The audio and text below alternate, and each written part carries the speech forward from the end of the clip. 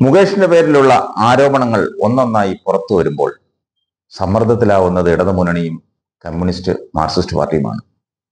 മതിരിച്ചിട്ട് തുപ്പാനും മേല കഴിച്ചിട്ടിറക്കാനും മേല എന്നുള്ള അവസ്ഥയിലാണ് ഇപ്പോൾ സി പി എം കമ്മ്യൂണിസ്റ്റ് പാർട്ടിയെ സംബന്ധിച്ചിടത്തോളം ഇതുവരെ വന്ന മുഴുവൻ പ്രതിസന്ധികളിൽ നിന്നും ഒറ്റയടിക്ക് തടിയൂരാനുള്ള ഏറ്റവും നല്ല മാർഗമാണ് മുകേഷിനെയും പിണറായി മന്ത്രിസഭയിലെ സിനിമാ രംഗത്തുള്ള മന്ത്രിയെയും രാജിവെപ്പിക്കുന്നത് എന്നാൽ രാജിക്ക് ശേഷം തെരഞ്ഞെടുപ്പ് അതായത് ഉപതെരഞ്ഞെടുപ്പ് വരുമ്പോൾ അത് അതിലും വലിയ പ്രതിസന്ധിയിലേക്ക് പോകുമല്ലോ എന്ന് ഓർക്കുമ്പോഴാണ് പാർട്ടി അതിൽ നിന്നും പിന്മാറുന്നത്.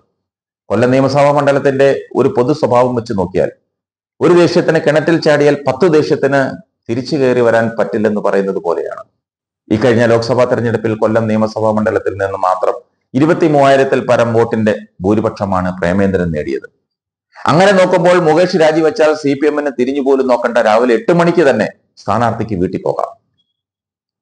എന്നാൽ ഇതുപോലെയുള്ളവന്മാരെ ചുമക്കാൻ ഞങ്ങൾ തയ്യാറല്ലെന്നുള്ള ഒരു സന്ദേശം പൊതുജനത്തിന് കൊടുക്കാൻ സാധിച്ചാൽ അത് അടുത്ത നിയമസഭാ തെരഞ്ഞെടുപ്പിൽ പാർട്ടിയെ വളരെയധികം സഹായിക്കും. അടുത്ത നിയമസഭാ തെരഞ്ഞെടുപ്പിൽ യു ഡി എഫിന്റെ സ്ഥാനാർത്ഥിയാകേണ്ട നേതാവാണ് ഇപ്പോൾ സമരത്തിന് നേതൃത്വം നൽകി കൊല്ലം ടൗണിലൂടെ ഓടി നടക്കുന്നത്. എങ്ങനെയും വിടക്കാക്കി തനിക്കാക്കുക എന്ന ഒറ്റ ലക്ഷ്യം മാത്രമേ ആ വനിതാരത്നത്തിനുള്ളൂ എന്നാൽ സർക്കാർ കണ്ടറിഞ്ഞ് പ്രവർത്തിക്കേണ്ടതാണ്. ഒരു സീറ്റ് പോയാൽ പോട്ടെ എന്നൊരു ധൈര്യത്തിൽ മുകേഷിനെ മാറ്റി നിർത്തുകയും രാജിവെപ്പിക്കുകയും ചെയ്താൽ അത് സർക്കാരിനുണ്ടാക്കുന്ന ഇമേജ് ചെറുതല്ല. മുകേഷ് എം എൽ എ സ്ഥാനം രാജിവെക്കുന്നില്ലെങ്കിൽ മുകേഷിനെ പാർട്ടിയിൽ നിന്ന് പുറത്താക്കണം. അതോടുകൂടി മുകേഷും പാർട്ടിയുമായുള്ള ബന്ധം തീരും. ആ വിഴുപ്പ് ചുമന്ന ചുമന്നെന്നുള്ള ആരോപണം മാറി നിൽക്കുകയും ചെയ്യും. താൽക്കാലികമായി മുകേഷിന്റെ അറസ്റ്റ് തടഞ്ഞുവെങ്കിലും അത് ശാശ്വതമായി നിലനിൽക്കില്ല. കോടതിയിൽ കീഴടങ്ങാനുള്ള നിർദ്ദേശം നൽകാനാണ് സാധ്യത കൂടുതൽ. ഏതായാലും ഹേമ കമ്മിറ്റി റിപ്പോർട്ട് സർക്കാരിനെ തുണച്ചിരിക്കുകയാണ്. സർക്കാരിനെതിരെയുള്ള പൊതു ചർച്ചകളെല്ലാം മാറി മുഴുവൻ ശ്രദ്ധയും ഹേമ കമ്മിറ്റിയിലേക്ക് തിരിഞ്ഞു.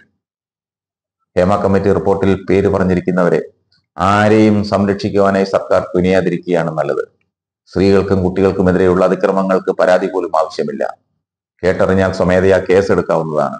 ഇന്നത്തെ സാഹചര്യത്തിൽ അത് സർക്കാരിന്റെ ഇമേജ് വർദ്ധിക്കും. സിനിമയിൽ കാണുന്ന നായകന്മാരെല്ലാം ഈ രീതിയിലുള്ള ഊളകളാണെന്ന ജനം തിരിച്ചറിയുകയും അവരോടുള്ള സ്നേഹവും ബഹുമാനവും നഷ്ടപ്പെടുകയും ചെയ്തിരിക്കുന്ന ഈ അവസരത്തിൽ സർക്കാർ ഉണർന്നു പ്രവർത്തിച്ചാൽ അത് മുന്നണിക്ക് തന്നെ ഗുണം ചെയ്യും.